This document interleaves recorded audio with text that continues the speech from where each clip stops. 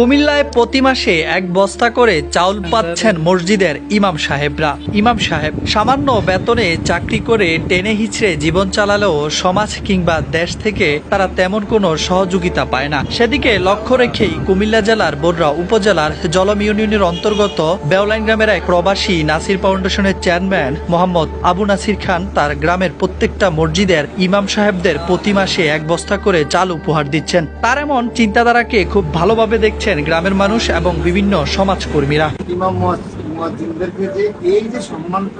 দিচ্ছে এটা একটা প্রশংসনীয় উদ্যোগ। এই যে প্রণোদনাটা দিচ্ছেন প্রতি এটা দেখে অন্য গ্রামে যারা ইমাম মুয়াজ্জিন আছেন অথবা অন্য যেখানে যারা আছেন বা প্রবাসে আছেন, তারা এই জিনিসটা তারাও যদি গ্রহণ করে, আসলে বর্তমান সমাজে বা বর্তমান সিচুয়েশনে ইমাম এবং মুয়াজ্জিনরা কিন্তু একটা পিছিয়ে পড়া একটা পরিবার। নাসির যে তাদেরকে উঠে ধরলো তুলে ধরলো, তাদেরকে সম্মানিত করল প্রণোদনা হিসেবে প্রতি মাসে এক করে, চাল দিল, বা দিচ্ছে এবং আল্লাহ রহমত আরও দিবে।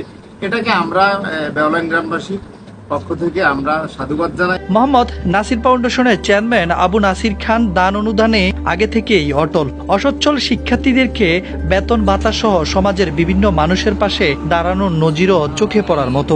আসলে আলহামদুলিল্লাহ এক বছর পূর্ণ হয়ে গেল। আমাদের ইমাম ও এবং মুয়াজ্জিনদেরকে যে সম্মানটা দেওয়া হচ্ছে, সেগুলো আসলে এটা আমাদের জন্য একটা অত্যন্ত সম্মানী একটা জিনিস। সম্মানী জিনিসটা আমরা সকল ইমাম সাহেব এবং মুয়াজ্জিন সাহেবরা পেয়ে আমরা অত্যন্ত খুশি।